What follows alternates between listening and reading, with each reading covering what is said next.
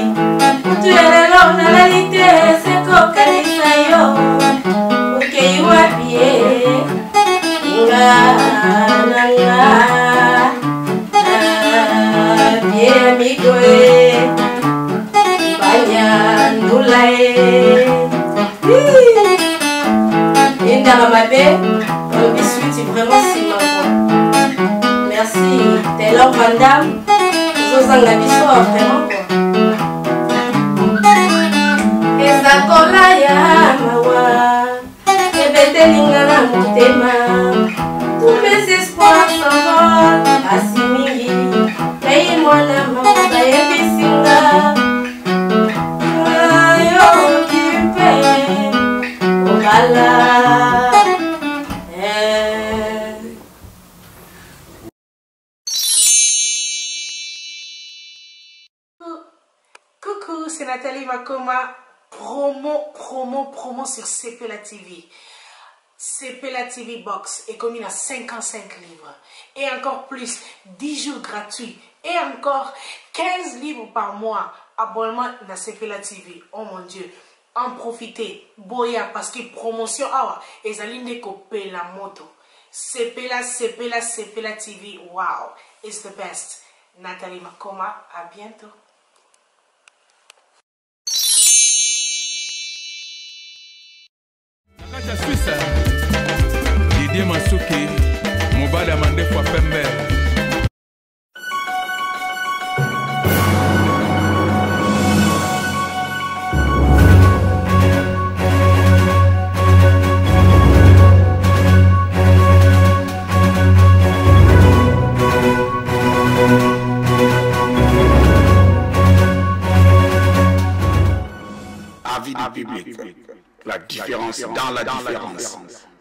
Votre meilleure chaîne de formation.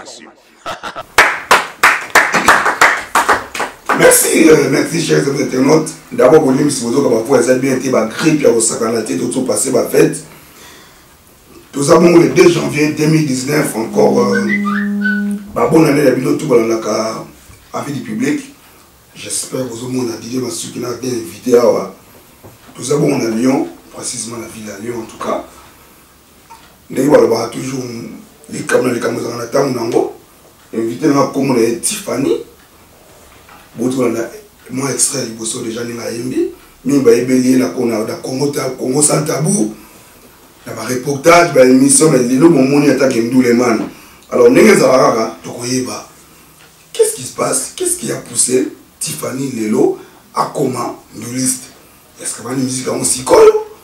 oyo eza mosala bana banda kala toyeba ona nzela ya émission na biso e aza accompagné na grand artiste congolais awa bino tu boyebi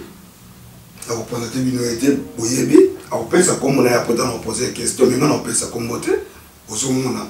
na pembeni ya tifani c'est-à-dire tifani aza bien encadré alors ndenge ezalaka sans plus tarder baquestion didi masuki baréponse ya invité na biso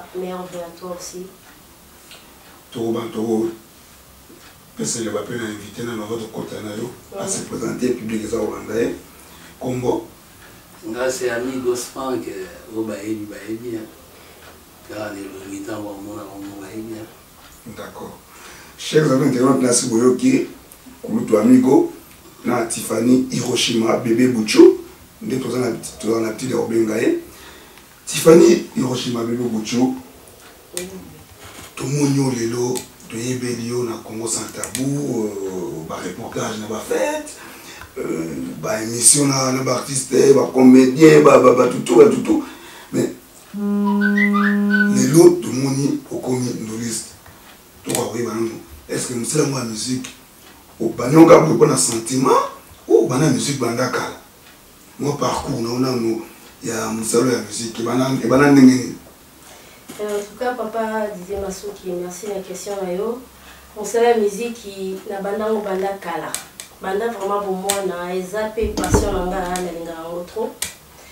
Mosala ya miziki na banda yango na Kinshasa ntango nazali kosa kokende ba chorale na banda mosala ya miziki oyo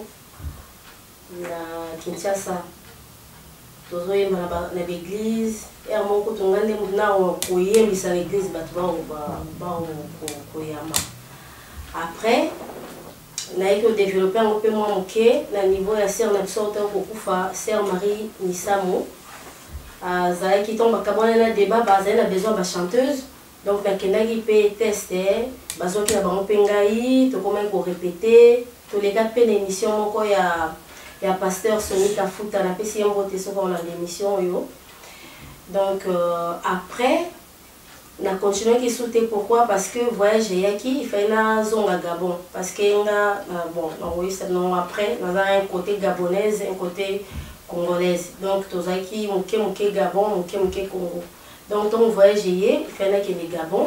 bon natikaki yango nakendaki gabon mai na gabon mpe nafandaki te nakotaki su mpe kaka baeglise tobandaki kaka kona komaki kointerprete banzembo ya bangi misamu ti toenregistra kutu na bacassette na epoke wana ezali bacassette bato eglise bazali kosomba mpe bacassette wana bazosepela nango en tout cas mosala miziki ebanda kala Mais tango na ye poto ba realite ya poto kaka ndenge ezalaka faut ko fanda na yaki poto na zemi faut ko bota faut ko zua mukanda ko zonga ba cour na zongo ba cour na zongo fanda na mindele bon esprit penza ya ba ndule ba eglise ebungaki ngai bon Après naye koya na Lyon nakomi na nga susu nakoti susu na makambo susu ya ba filmage nde ka vie alobi awa mais na cadre kaka ya ba animation tosalaka esalaka pe ke toyembaka pe na camarade na ngai Taylor Van Damme bibiche napesi ye mbote place azali na Suisse aza na suisse parce que aza te parce que aza na suisse donc euh, voilà quoi esalaki ke baanimation tozoyemba ensemble donc goût wana ezongaki epuis baconcert moa ya baoleka awa vie na ngai arc en ciel zola abandaki kozwa biso tozokoaccompagne na baconcert tobeta le 17 février 2018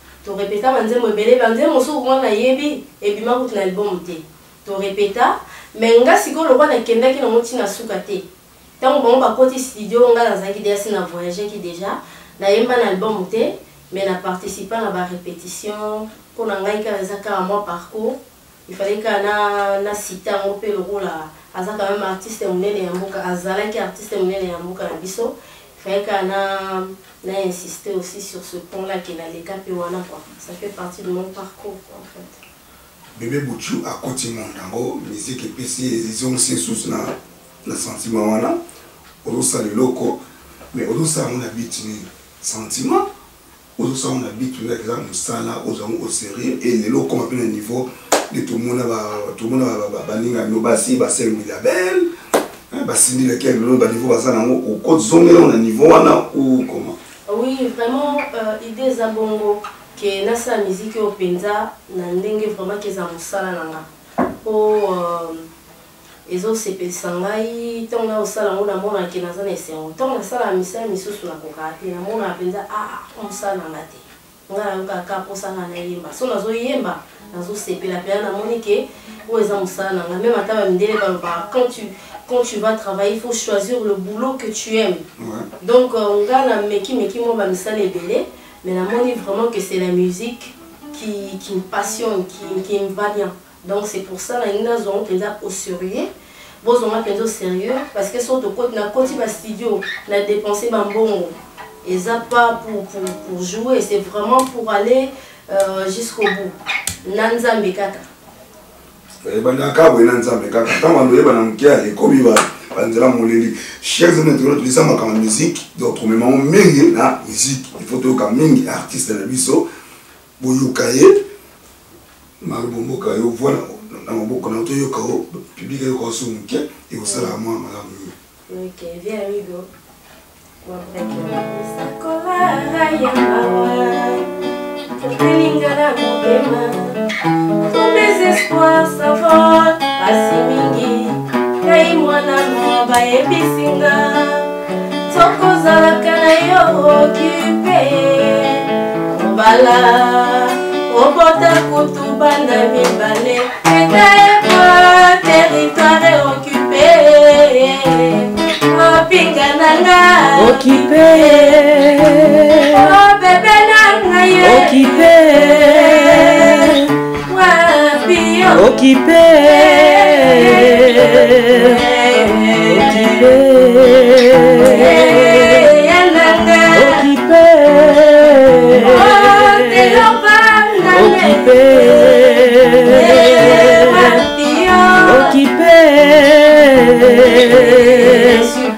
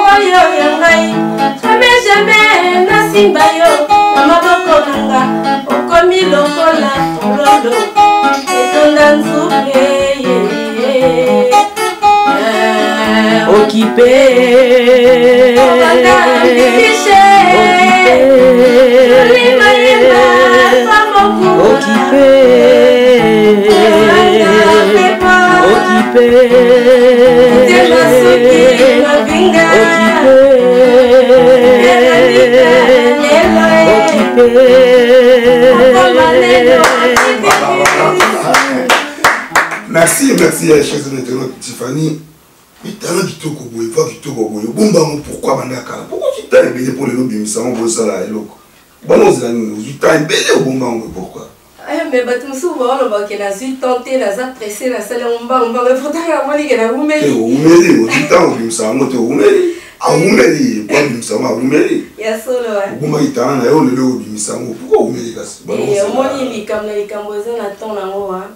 so nzambe alobaki ke lelo lelo okozala okobanda yango banda kala oforce oforce so nzambe alobaki temps yango wana te esimba tata ndeni me nga sikoyo na sentir mpenza ke temps yango yango oyo nazwi mpe ata na nga nabongisi banzembo nga moko nakomaka eh? nakomikomi banzembo na nga nabongisi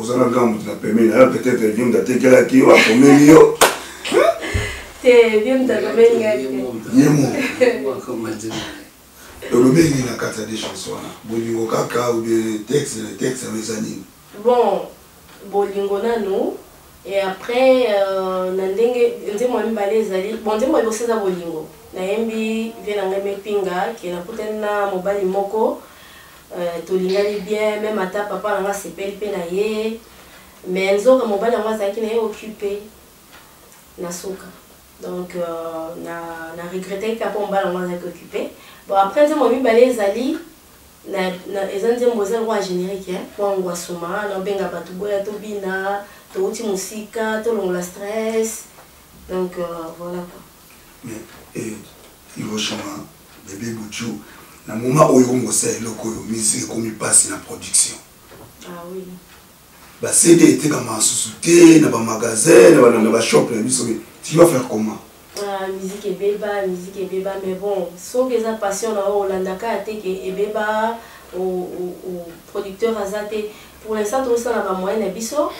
et puis euh, ba vieux na nga bazali baopesa nga ba coups de, de, de coups de pouce quoi.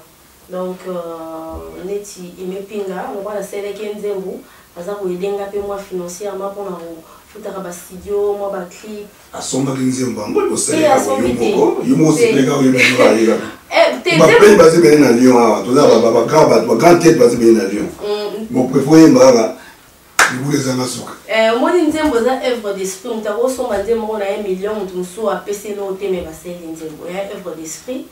donc vie na nga asombi nzembo te na pensaki na ye parce que omoni so moto asali yo malamu na vie fo kobosana malamu wana te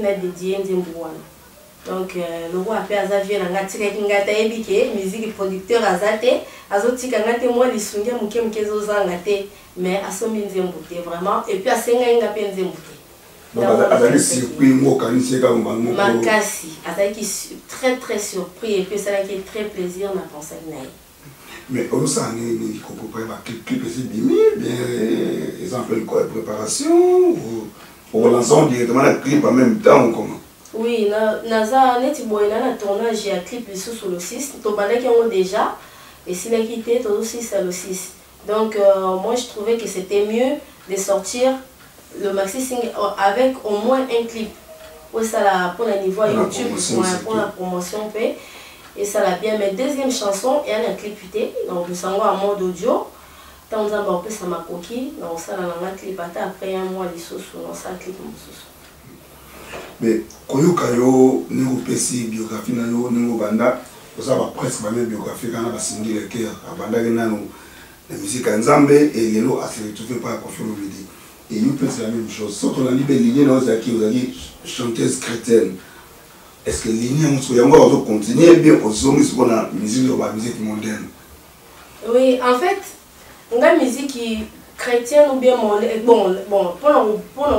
ko préciser nde bata mokili balobaka balobaka ke musique eza mondaine ou chrétienne bon nalobi ke eza musique mondaine na sens nini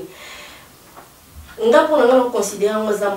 mondaine te eza yango kaka miziki ka mpo malobaka yango tolobaka yango toyemba yango toza tozovivre na mokili bato nde basalaka ke basepare biso na makambo ya nzambe mais pourtant Nafingi na nga te na kati nazo kumisa ka ekelamu Nzambe asala nazo lobela bolingo eh, nazo benga bato boya tobina na ndenge ya malamu nasimbi na nga mpe kisi te bolingo ya nzambe ezali na bolingo ya bato ya mokili ya normal boye ezali eyembeli ya bato ya mokili normal te bolingo eza bango kaka bolingo nzambe alobi tolingana donc euh, olinga na église olinga libanda ezaka bolingo ti bon donc nazoyemba nayemba trop na musique na baeglise mais sikoyo nasala carrière na nga moko euh, mpo na nga eza moko ya musique ya nzambe kaka omonaki ozala mie na musique mondaine okoexploite talent na omie par rapport esoki otikaki na ligne chrétienne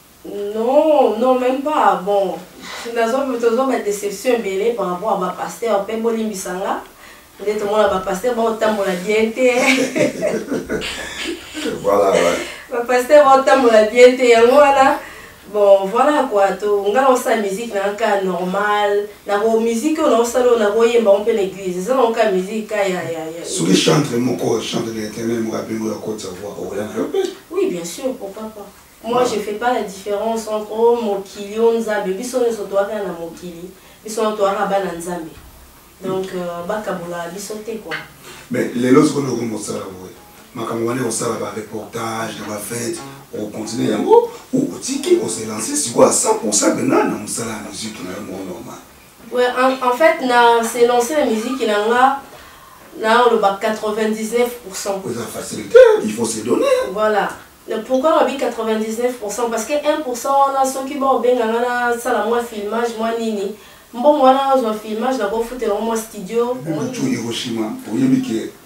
na Congo toza na ba talentueuse ebele mpe oyo bakosala mosala lokola bino ba babanda liboso na yo na ba oyo mpe bazoya nsima na yo na otando quelque chanteuse congolaise oyo oyebisa nga nani oyo omona maka aza likolo na bango tu atili osindi natie mege 30 natie yo moko na kati totie euh, mwana biso na limoge totie badanseuse na biso totie yo tatiana cruz nani omoni ya bango nyonso omonimaki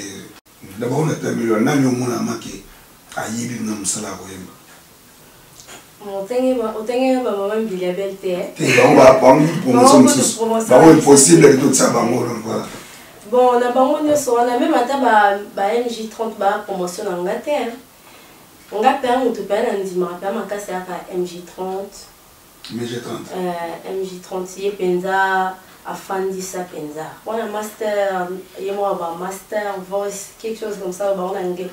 Donc euh, ye pe akande mna ndimaka. C'est la singa zali tatana ko zali mais yo yo bi ke MJ30. Eh, na bango nyonso wana kaka mege 30 mpo nga mpenza sindi wana mpe préférence na nga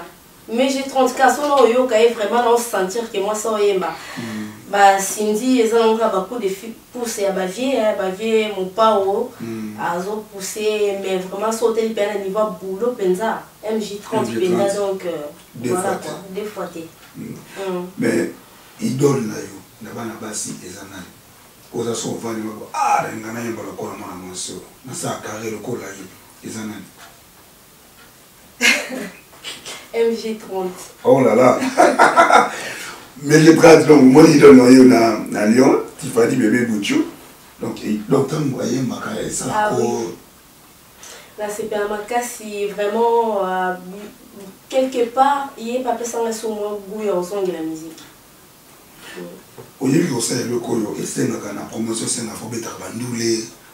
basoirée oza prête na nyonso wana si si bien sûr bien sûr alors lelo ozoloba nini bapoliteur baza kolanda biso devant émission ya vie publique oza likambo na bapoliteur ou oza na besoin bapoliteur babenda na pembeni na yo okoma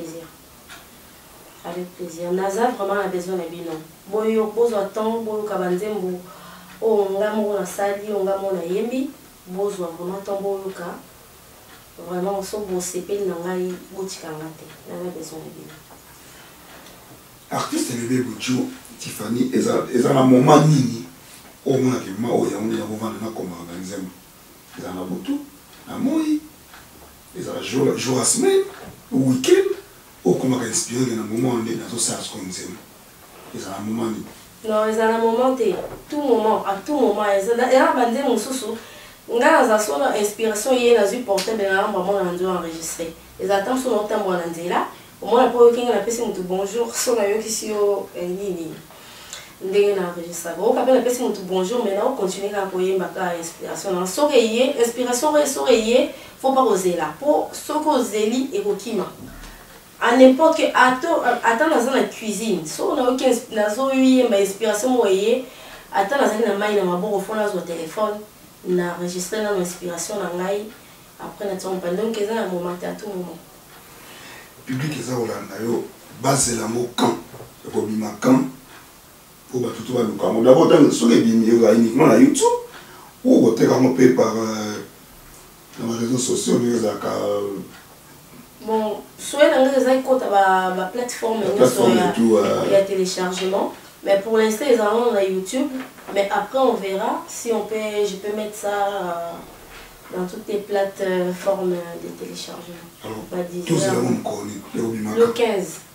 Le 15 au 15 kaka. janvier kaka oyo. Ouais, dans deux semaines awa. Le 15 janvier ebimi déjà na YouTube. Et puis euh, ben tokutana biso nyonso tout euh, chez Enga- Em- Engambe ya Mputu na Mbandaka le 15 janvier wana. Nabengisi bino nyonso, nabengisi bino yo na na mère euh, Super Anita. Boya vraiment euh, esanga plaisir à trop boya le 15 wana.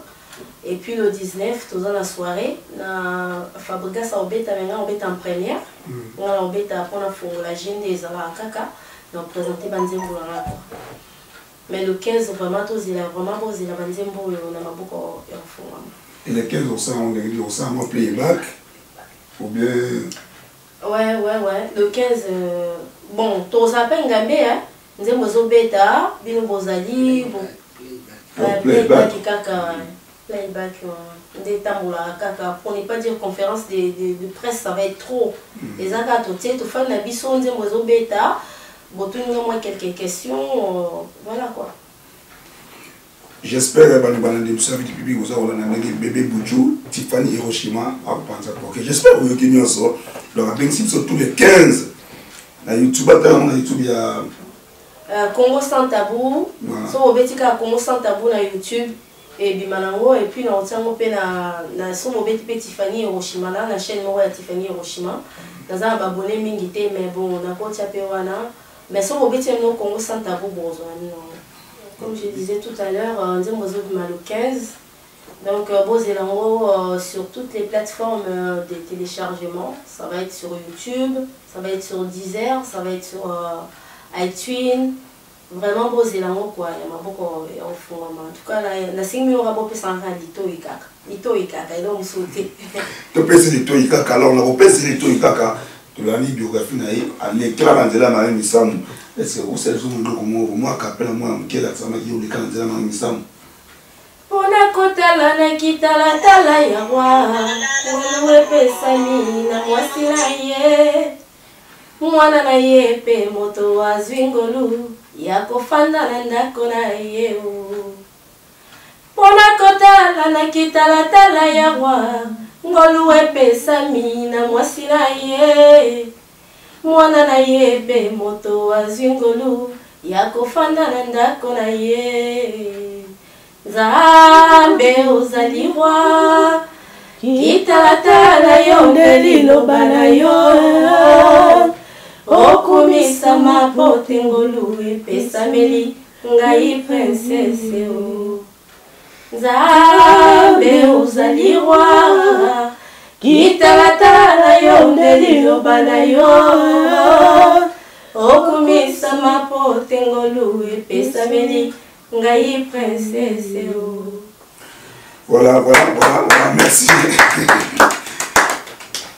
eza mpasi makambo boyoki parcour na ye ndenge alekela nzela ya mami misamu merci beaucoup euh, bebe butu tifani eza mama koyemba lelo fo mokili eyoka ndenge oyembaka osali public bien bana ndenge ndenge oyembi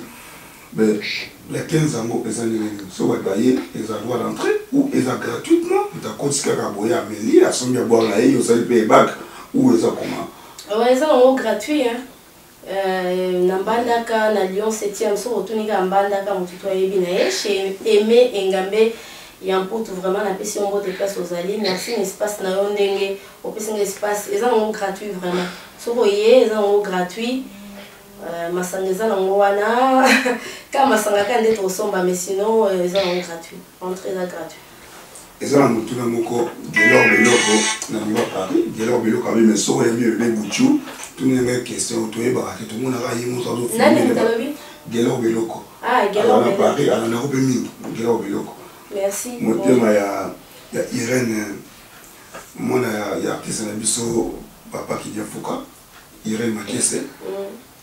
mobali na ye biloko biloko abino monaki kaka mingi soki abimi abimaka ye moko azaka akompane na motu te na pembeni eske bebe buchu tifani eske azalaka marie ou azalaka célibataire non naza marie te me naza na copain na nga nabima na ye te parce que aza aza congolais te alinga na ye bamilieu congolais te yango nabima na ye te amundele ah, eh, aza mundele Gelo beloko oyoki likambo ozalaki nango besoin dodo tomako j'espère oyoki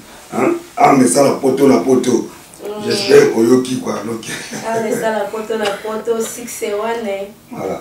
kani okoma na suka eh, Tiffany Hiroshima sakrisi na public na yo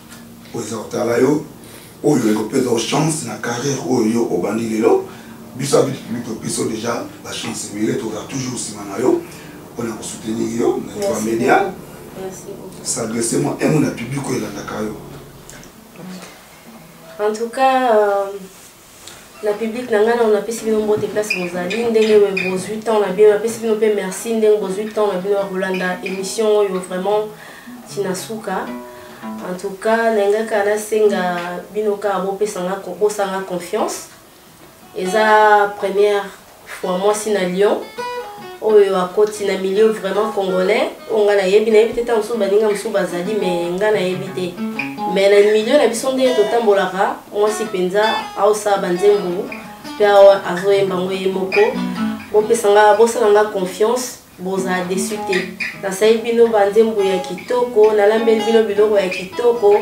Eza mpo na bino bana Lyon, bana Suisse, bana Paris, bana Londres.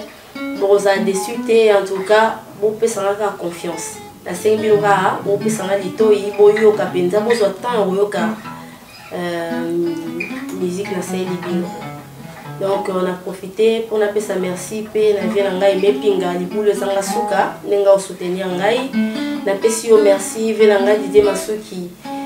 Euh, mavinga mobala mandefu ya pembe na ndenge ozosoutenir ngai na mare anita super anita lelo vrai chéri na kati ya lyon napesi no merci vie na ngai amigo mpania ndula napesi mpe merci ndenge ozosoutenir ngai donc euh, apo maneno antivirus merci na soutien na yo ndenge ozopanza ozopartage oui bami na ngai nyonso ya facebook oyo oh, bazwaki temps ya kopartage affiche na nga na mpe baoyo bazwaki temps te napesi bino merci bokomantaki boyemaki vraiment napesi bino merci mingi namoni vraiment ke boza na motema bolingaka ngai ngai mpe nalingaka bino trop boyebi ti nde ka tosololaka en tout cas merci beaucoup nakobosana te jolie mayemba mama présidente na bamama selfi nyonso napesi merci na vie na ngai euh, alpha mokua Napesi merci na Blanchard Kabanga na papi euh, Blanchard Kabanga le playboy donc ye azalaka mpenza playboy quoi papi Kayembe papi Kayembe le boss napesi ngo ba merci ebele trésor play ikulu Zakis Kazadi papi Mutoba Willy Mutoba en tout cas ya Pedro Matwa ya Bali Mose Bele vie na ngai efemi Picho Kanyaku, Cardinal Lutela, mais Nathan avantageuse, naopesa pe merci na Soleil Wanga nenga soutenir nga de loin. Vraiment Soleil Wanga papa Gumela, merci beaucoup na soutien na yo. Fanny Smith Wanga na bosani yo te, le préféré des Suisses, papa Suisse yo. Wanga. Eh, bana suisse napesi bino mpenza bamerci na ndenge bobengisaka biso bopesa biso confiance bamama bomoko bafemme tendance bafemme actuelle bafemme euh, bamama debout bino nyonso juliana nzumba nabosani yo te ya jilu pembe na papa henri merci beaucoup ruth mon vieux mon vieux vraiment ya kati tony belenga belanga pardon vie na nga mpe toni belanga napesi yo vraiment merci na soutien na yo vraiment osoutenir nga makasi prêtre na kati ya biene toni belanga donc euh, umela vie donc euh, voilà na bango mpe nabosani bakombo na bino boyibisa nga mais bemission eza ebele na koreflechir sur bakombo na bino na kopesa bino bamerci na mosi kaka napesi bino kaka babisu merci beaucoup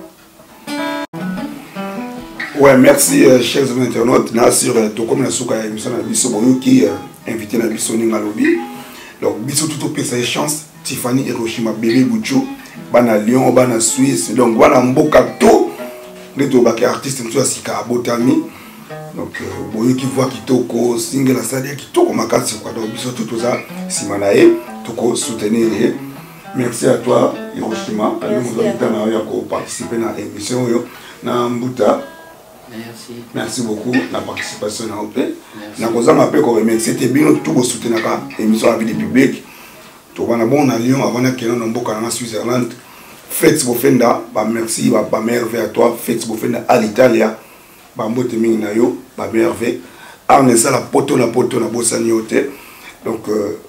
ba mbote na opi et puis ba ba meilleurs vœux à toi aussi euh, Olga Mukalenga na bosani yo te Serge Ngovos ba meilleurs vœux na bino tout euh, les banquiers c'est qui encore super en italelo les banquiers na na Lyon ah, Guy euh, Guy Matobo Guy Makobo le banquier ba mère vers à toi ba biki soko za na besoin bongo to ba ke fonds monétaire international oza na besoin de fonds bongo banque Lambert oye pa Guy Makobo ko defisa ba likona montant to lingi ba mère vers epai ozali foma bino tout maître bobo ependa jérémie ah bambote na yo polele polele ba mère vers à toi tobosani yo te euh, salamanda le bogar nabosani yo te 61 pamela efe ya 3 6 wana nabosani ote bambote epai ozali vraimen boza ebele ebele bana lyon euh, viki jeni mokonzi ya lyon nabosani yo te euh, bona yo je nabosani yo te bamela efe ya tout le monde bana lyon boza vraimen ebele ebele toke na ngambo ya suisse euh, atosha de genève didie masuki nabosani yo te dodoli dodo tomako bambote na yo epai ozali toke bongo na lausanne empereur josé carlito bambote ebele nabosani yo te vie na ngai vie na ngai risquin nabosani yo te bambote ebele maître raf botela nabosani yo te fiso malula bameilleur vie à tout le monde maître euh, dox motomba nabosani yo te bameilleur vie à tout le monde bana loza boza ebele nakobwaka tout le monde eve na nga gobelisha hein? na bosani te fuma bilele ba mboto na yo ebele santos dejira chef d'entreprise na bosani yo te simon bidi izikash ba mboto na bino boza mpenza ebele merci ko la première dame na bosani yo te et sans oublier noela de bundes motema emilia mayemba na bosani bino te et maya nicole